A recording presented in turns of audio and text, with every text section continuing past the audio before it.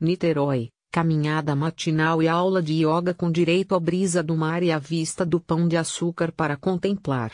A este cenário privilegiado terá direito quem participar da terceira Caminhoga em Niterói, no próximo domingo, a partir das 8 horas. O local escolhido desta vez foi a Fortaleza Santa Cruz, em Jurujuba, um dos pontos turísticos mais bonitos da cidade Sorriso visitados da cidade. De acordo com um dos organizadores do evento, o instrutor de yoga Henrique Moraes, não é preciso ser praticante de yoga para participar, Preparei uma série que todos terão condições de fazer a aula, explica Moraes. Segundo o instrutor de yoga, Henrique Moraes, entre os muitos benefícios que o yoga pode proporcionar estão o combate à insônia e o controle da ansiedade e do estresse, vale ressaltar ainda o ganho na saúde corpo.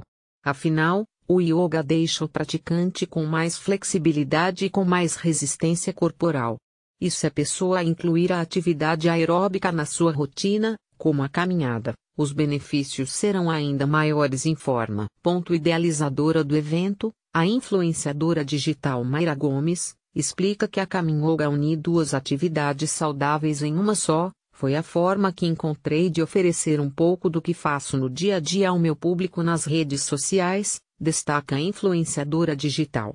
Uma das pretensões da Caminhoga é ajudar a combate o sedentarismo. Você pode escolher fazer apenas uma das atividades.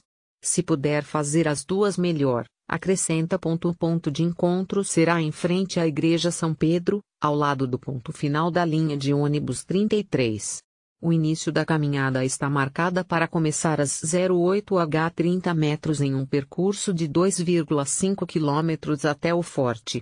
Já a aula de yoga será, às 10 horas, no interior da fortaleza na localidade conhecida como Pátio do Farol. Novamente, o evento será gratuito. Porém, os organizadores do evento pedem que os participantes levem 1 kg de alimento não perecível para ser doado à Casa Maria de Magdala, instituição filantrópica que cuida de pessoas portadoras do HIV situada no SAP.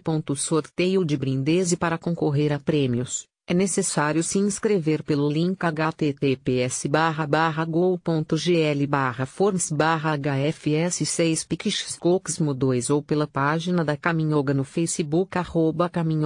A organização da Caminhoga pede que cada participante leve seu mate tapete de yoga ou uma canga, garrafinha de água, roupa de ginástica, chapéu ou viseira e protetor solar também estão entre as recomendações para levar. Uma blusa de frio também vale a pena carregar, já que venta muito no local da aula de yoga.